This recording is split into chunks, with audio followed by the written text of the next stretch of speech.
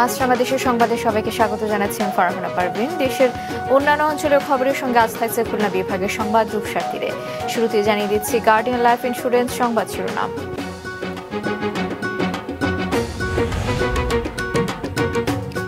সারা দেশে বারো কোটির বেশি মানুষ পেয়েছে করোনা টিকার প্রথম ডোজ। বিশেষ ক্যাম্পেইনের শেষ দিনে বেশিরভাগ স্থানে শান্তিপূর্ণ পরিস্থিতি। চার দশক ধরে জমিতে লবণ পানি তুলে চিংড়ি চাষের প্রভাবে বিপর্যস্ত উপকূলীয় এলাকার পরিবেশ ভেঙে পড়ছে কৃষি ভিত্তিক অর্থনীতি। শুনছিলেন শিরোনাম এবার বিস্তারিত। করোনা ভাইরাসের প্রথম ডোজের বিশেষ ক্যাম্পেইনের শেষ দিনে সারা দেশে শান্তিপূর্ণভাবে চলছে টিকাদান। দেশে এ পর্যন্ত বারো কোটির বেশি মানুষকে করোনা টিকার প্রথম ডোজ দেওয়া হয়েছে বলে জানিয়েছেন স্বাস্থ্য অধিদপ্তর। প্রতিনিধিদের পাঠানো তথ্য এবং ছবি নিয়ে রিপোর্ট। চট্টগ্রামের টিকা কেন্দ্রগুলোতে ছিল মানুষের উপচে পড়া ভিড়। গতকাল যারা দীর্ঘ সময় লাইনে দাঁড়িয়েও টিকা দিতে পারেননি, তারা আজ টিকা দিতে পেরে খুশি।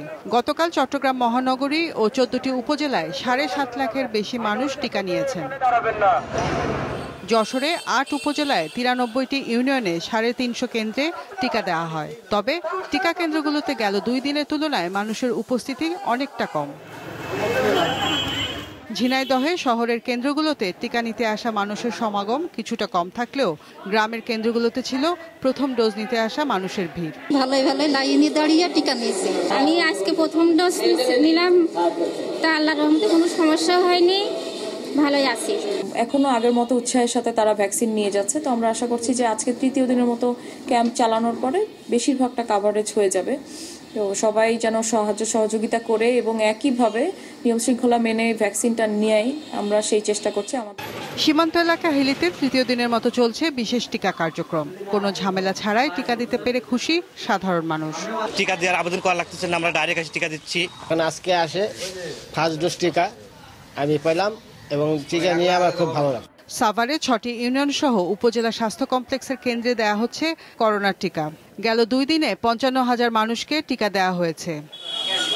নোয়াখালী আট উপজেলায় প্রথম ডোজ ভ্যাকসিন নিয়েছেন চব্বিশ লাখ ষাট হাজার জন। একশো বিশটি কেন্দ্রে এই ভ্যাকসিন দেওয়া হয়। আজ কেন্দ্রগুলোতে ভিড় অনেকটাই কম। কেন্দ্রগুলোতে আজ যতক্ষণ টিকা গ্রহীতা থাকবেন, ততক্ষণ দেয়া হবে প্রথম ডোজের টিকা। দেশে বারো কোটির বেশি মানুষকে ইতোমধ্যে করোনার টিকার প্রথম ডোজ দেওয়া হয়েছে বলে জানিয়েছে স্বাস্থ্য অধিদপ্তর। রওশন জাহান, মিষ্টি মাছরাঙ্গা নিউজ ডেস্ক। এবার খুলনা বিভাগের সংবাদ রূপসার তীরে।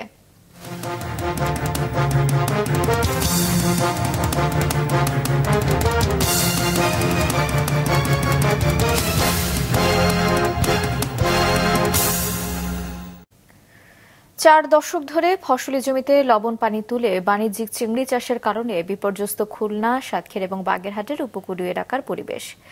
বন্ধ হয়ে গেছে কৃষি জমি, ভেঙে পড়েছে এসব এলাকার কৃষিভিত্তিক অর্থনীতি। এলাকা ছাড়তে বাধ্য হচ্ছে মানুষ। এস এম মিলনের ক্যামেরায় মুস্তফা জামালের রিপোর্ট। এটি কোনো প্রাকৃতিক জলাভূমি নয়, কোনো দুর্যোগেও জলাবদ্ধ নয়। চিংড়ি চাষের জন্য প্রভাবশালীরা জোর করে স্লুইস গেট খুলে অবৈধভাবে বেড়িবাঁধ ছিদ্র করে পাইপ বসিয়ে লবণ পানিতে ডুবিয়ে দিয়েছে খুলনার পাইকগাছা উপজেলার দেলুটি ও লতা ইউনিয়নের হাজার হাজার একর জমি। এমন ঘটনা এবছরই প্রথম, তাও নয়।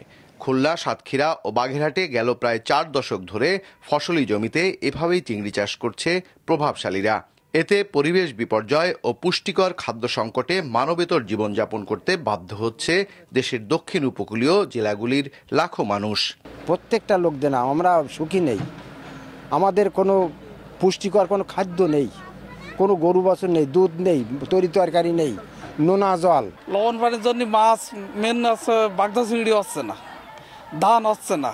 আর অন্য অন্য তরি তরকারি এ সমস্ত যে শাকসবজি যে সমস্ত তা তো মোটেই হচ্ছে না। তো বাইরেগত লিজের লোকজন থাকে তারা মানুষের পরে অত্যাচার অনাচার করে থাকে।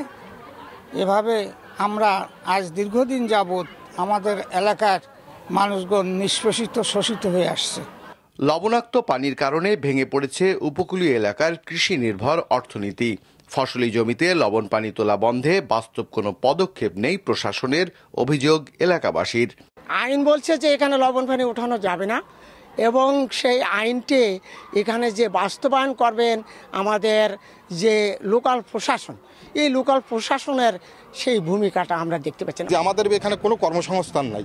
কর্মসংস্থান না থাকার কারণে আমরা সবাই বিভিন্নভাবে রোগগ্রস্ত হয়ে গেছে। আমাদের এখানে শ্রম বিক্রি হয় না। জনগণ ও ব্যবসায়ীদের মধ্যে সমন্বয় করে কৃষি জমিতে লবণাক্ত পানি প্রবেশ বন্ধের কথা বলছে আইন প্রণেতারা।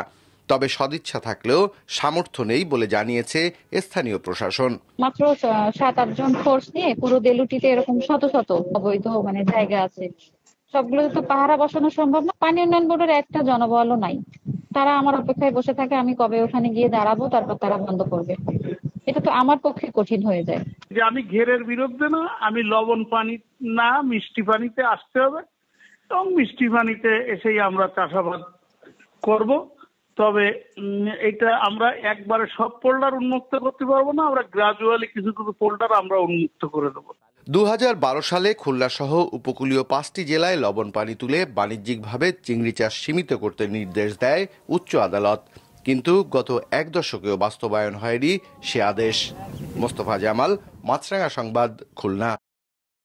বিস্ফোরক মামলায় জেএমবি খুলনা বিভাগীয় প্রধান জিয়াউর রহমান সাগরকে বিশ হাজার টাকা জরিমানা সহ বিশ বছরের সশ্রম কারাদণ্ড দিয়েছে আদালত। দুপুরে খুলনার অতিরিক্ত মহানগর দায়রা জজ এস এম আশিকুর রহমান এ রায় ঘোষণা করেন। দুই সালের উনত্রিশে ডিসেম্বর রাতে নগরীর মিয়াপাড়া হতে গ্রেফতার হয় জেএমবি খুলনা বিভাগীয় প্রধান জিয়াউর রহমান। তার তথ্যে দৌলতপুরের একটি ছাত্রাবাস থেকে বিস্ফোরক উদ্ধার করা হয়। এ ঘটনায় ত্রিশে ডিসেম্বর র্যাবের ডিএডি ইউনুস আলী তার বিরুদ্ধে মামলা করেন। বাংলাদেশ কৃষি উন্নয়ন কর্পোরেশনের chairman A F M Hayatullah বলেছেন, রাশিয়া এবং ইউক্রেনের মধ্যে যুদ্ধের প্রভাব পড়বে সার আমদানিতে। এতে কৃষিখাত চরমভাবে ক্ষতিগ্রস্ত হওয়ার আশঙ্কার কথা জানান তিনি। দুপুরে চুয়াডাঙ্গা বীজ প্রক্রিয়াজাতকরণ কেন্দ্রের নতুন দফতরের উদ্বোধনকালে এক মন্তব্য করেন তিনি।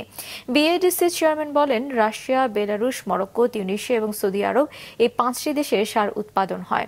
দেশে ইউরিয়া কিছুটা উৎপাদিত হলেও অধিকাংশই আমদানি করা হয় বলে জানান তিনি। বলেন, এছাড়া নন ইউরিয়া সারের প্রায় নব্বই ভাগে আমদানি করতে হয়। ভবনের সভাকক্ষে স্থানীয় কর্মকর্তাদের সঙ্গে মতবিনিময় করেন তিনি।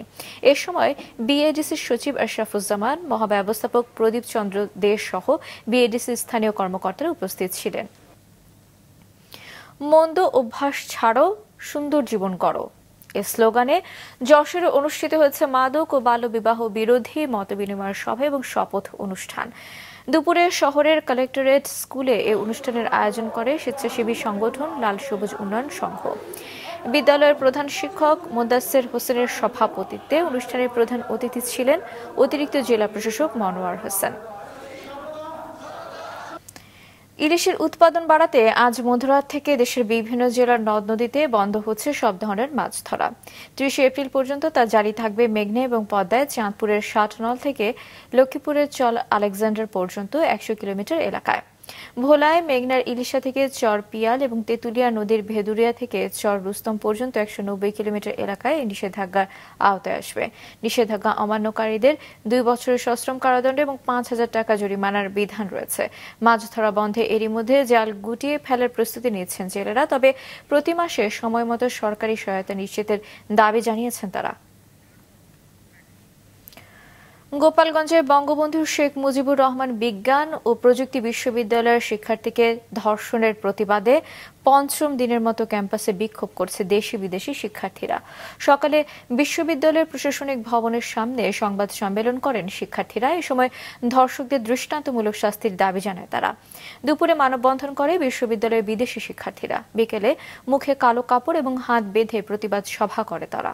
সন্ধ্যায় ধর্ষীদের কুশপুত্তলিকা দাহ করার কথা রয়েছে। এদিকে বাগেরহাটের কচুয়ায় স্কুল শিক্ষার্থীকে গণধর্ষণের ঘটনায় জড়িতদের সর্বোচ্চ শাস্তির দাবিতে মানববন্ধন করেন এলাকাবাসী। ময়মনসিংহ মেডিকেল কলেজের এক শিক্ষকের বিরুদ্ধে ছাত্রীকে যৌন হয়রানির অপবাদের প্রতিবাদে এবং প্রকৃত দোষীদের বিচারের দাবিতে ক্লাস এবং পরীক্ষা বর্জন করেছেন তার সহকর্মীরা। সকাল থেকে শিক্ষকরা কোনো ক্লাসে যোগ দেননি, শিক্ষার্থীরাও ক্লাসে আসেনি। গোটা ক্যাম্পাস প্রায় ফাঁকা ছিল। এর আগে গতরাতে শিক্ষকদের এক সভায় আটচল্লিশ ঘণ্টা লাগাতার ক্লাস এবং পরীক্ষা বর্জনের কর্মসূচি ঘোষণা করা হয়। তবে হাসপাতালে চিকিৎসা কার্যক্রম স্বাভাবিক থাকবে বলে জানিয়েছেন শিক্ষকরা। সিরাজগঞ্জ জেলা আওয়ামী লীগের ত্রিবার্ষিক সম্মেলনে advocate K M Hossain Ali সভাপতি এবং আব্দুস সামাদ তালুকদার সাধারণ সম্পাদক নির্বাচিত হয়েছেন। সকালে জেলার সরকারি কলেজ মাঠে জাতীয় পতাকা এবং পায়রা উড়িয়ে সম্মেলনের উদ্বোধন করেন আওয়ামী লীগের প্রেসিডেন্ট সদস্য আব্দুর রহমান। ভার্চুয়ালি যুক্ত হয়ে প্রধান অতিথি হিসেবে উপস্থিত ছিলেন দলটির সাধারণ সম্পাদক সেতুমন্ত্রী ওবায়দুল কাদের। সভায় উপস্থিত ছিলেন তথ্যমন্ত্রী ড হাসান মাহমুদ, সাংগঠনিক সম্পাদক এস এম কামাল সহ কেন্দ্রীয় এবং জেলা নেতৃবৃন্দ। দমকা হাওয়া ও শিলাবৃষ্টিতে দেশের বিভিন্ন স্থানে ফসলের ব্যাপক ক্ষতি হয়েছে। গতকাল বিকেলে চুয়াডাঙ্গায় শিলাবৃষ্টিতে ভুট্টা, ধান, পান সহ বিভিন্ন উঠতি ফসল নষ্ট হয়। চুয়াডাঙ্গা আবহাওয়া অফিসের ভারপ্রাপ্ত কর্মকর্তা সামাদুল হক জানান, গত চব্বিশ ঘন্টায় আঠারো মিলিমিটার বৃষ্টি রেকর্ড করা হয়েছে। গতকাল বাতাসের গতিবেগ ছিল ঘন্টায় চল্লিশ কিলোমিটার। ঝিনাইদহের হলিধানি সাধুহাটি দশ মাইল রামনগর সহ বিভিন্ন এলাকায় ক্ষয়ক্ষতির পরিমাণ সবচেয়ে বেশি। গতকালকে যে ঝড় হয়েছে সে ঝড়ের কথা তার বুলায়ের মতনই নাই। তামাক গম ভুট্টা যা ছিল মাঠে একদম সব শাট হয়ে গেছে আমাদের। ভুট্টা যে ভেঙে ছিল সব পুড়িয়ে গিয়েছে আগে যা ফলন হইতো তা তার হবে না এখন অর্ধেক ফলন হবে কিনা তা আল্লাহ জানে। এরকম শিল আমার পঞ্চাশ বছর বয়সে আমি দেখিনি। আর সাইজই খুব বড়। আউশের সাথে আমাদের মুগ ডাল আউশ এবং অন্যান্য যেগুলো শাকসবজি যেগুলো খরিফ এক মৌসুমে হয়, সেইগুলো যাতে সরকার কিছু পুনরুদ্ধার দেওয়ার চেষ্টা করবে, আশা করি সেটা দেওয়ার সাথে সাথে আমরা চাষিদের হাতে পৌঁছে দেব। ভেষজ উপাদানের সাথে ভিটামিন এবং খনিজ উপকরণের সংমিশ্রণে তৈরি ইমিউনিটি বুস্টারে রোগ প্রতিরোধে সফলতার দাবি করেছেন মানিকগঞ্জের ডক্টর আলমগীর হোসেন। প্রতিনিধি গাজী ওয়াজেদ আলমের তথ্য এবং ছবিতে desk report. Doctor Mohammad Alamgir Hossain, scholarship নিয়ে ভারতে বায়োকেমিস্ট্রিতে উচ্চশিক্ষা গ্রহণের পর সিঙ্গাপুরে মলিকুলার বায়োলজিতে পিএইচডি করেন। ঠান্ডাজনিত সমস্যা থেকে মুক্তির জন্য দুই হাজার নয় সালে শুরু করেন ভেষজ উপাদান নিয়ে গবেষণা। মানবদেহে রোগ প্রতিরোধ ক্ষমতা বৃদ্ধির মাধ্যমে করোনা রোগী দ্রুত আরোগ্যের প্রমাণ পেয়েছেন তিনি। গবেষণার অংশ হিসেবে পরে এ ফুড সাপ্লিমেন্ট দিয়েছেন শতাধিক করোনা রোগীকে। কোনো পার্শ্ব প্রতিক্রিয়া ছাড়া ভালোভাবে কাজ করেছে এই ইমিউনিটি বুস্টার। ফরমাটির উপাদানগুলোর মধ্যে রয়েছে বেশ কিছু ইমিউনিটি ও সুস্বাস্থ্য বর্ধনকারী ভিটামিন ও মিনারেল এছাড়াও শক্তিশালী অ্যান্টি অক্সিডেন্ট ও অ্যান্টি ইনফ্লামেটরি গুণাগুণে সমৃদ্ধ এলডার বেরি আরোনিয়া বেরি ইত্যাদি।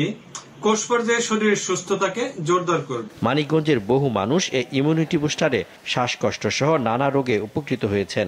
আলমগীর সাহেবের ওই পাউডারটা আমাকে অনেকাংশেই করোনা মুক্ত হতে সাহায্য করেছে। পজিটিভ আসার পরে আমি এই ওষুধটা একটা না খাইলাম। খাওয়ার পরে আমার বড় ধরনের কোনো অ্যান্টিবায়োটিক আসলে আমার খাইতে হয় নাই। তিন বেলা করে খাই। খাওয়ার পরে আস্তে আস্তে আমার ওই কোভিডের যে উপসর্গগুলো সেগুলো কমতে থাকে। আমিও স্বাভাবিক হইতে শুরু করলাম। এই ফর্মুলাটি সরকারি পর্যায়ে পরীক্ষা নিরীক্ষার পর বাজারজাত করলে করোনা মহামারী থেকে মুক্তি পাওয়া সম্ভব বলে মনে করেন doctor Mohammad Alamgir Hossain. Maasranga news desk. টিকা না নেওয়ার কারণে যেসব শিক্ষার্থী ক্লাসে যোগ দিতে পারছে না, তাদের জন্য ভার্চুয়াল ক্লাস নেওয়ার প্রস্তাব দিয়েছেন ভোলা লালমোহনের প্রাথমিক বিদ্যালয়ের শিক্ষক, অভিভাবক এবং স্থানীয় জনপ্রতিনিধি। দুপুরে লালমোহন উপজেলা প্রাথমিক শিক্ষা বিভাগের আয়োজনে উপজেলা অডিটোরিয়ামে স্থানীয় সংসদ সদস্য নুরুনবী চৌধুরী শাওন উপজেলার প্রাথমিক স্কুলগুলোর ম্যানেজিং কমিটির সভাপতি এবং শিক্ষকদের মধ্যে মতবিনিময়ের সভা হয়।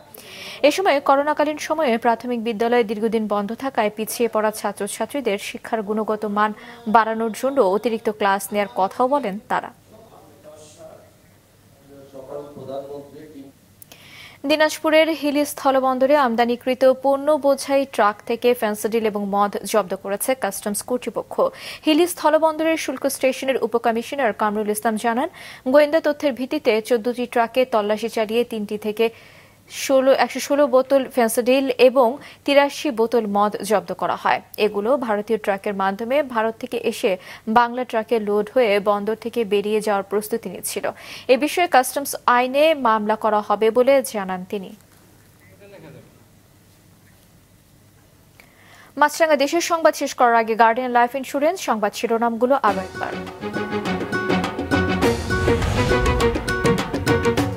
সারা দেশে এ পর্যন্ত করোনা টিকা পেয়েছে বারো কোটির বেশি মানুষ। বিশেষ করে ক্যাম্পেইনের শেষ দিনে বেশিরভাগ স্থানে শান্তিপূর্ণ পরিস্থিতি। চার দশক ধরে জমিতে লবণ পানি তুলে চিংড়ি চাষের প্রভাবে বিপর্যস্ত উপকূলীয় এলাকার পরিবেশ ভেঙে পড়েছে কৃষি ভিত্তিক অর্থনীতি। দেশের বিভিন্ন নদ নদীতে সব ধরনের মাছ ধরায় দুই মাসের নিষেধাজ্ঞা অমান্য করলে জেল জরিমানা। এ ছিল এখনকার মতো ফেসবুকে আপডেট পেতে ভিজিট করুন মাছরাঙ্গা টেলিভিশনের পেজে ইউটিউব চ্যানেলেও দেখতে পারেন আমাদের সংবাদ প্রতিবেদন এবং অনুষ্ঠান। দর্শক পরিস্থিতির উন্নতি হওয়ায় করোনা সংক্রান্ত বিধিনিষেধ তুলে নেওয়া হলেও মাস্ক পরা কিন্তু এখনও বাধ্যতামূলক। তাই বাইরে বের হলে নিজে মাস্ক করুন অন্যকে পড়তে উৎসাহিত করুন। তাই যাবার আগে মনে করি আমাদের পরবর্তী সংবাদ সন্ধ্যা সাতটায় দেখার আমন্ত্রণ রইল।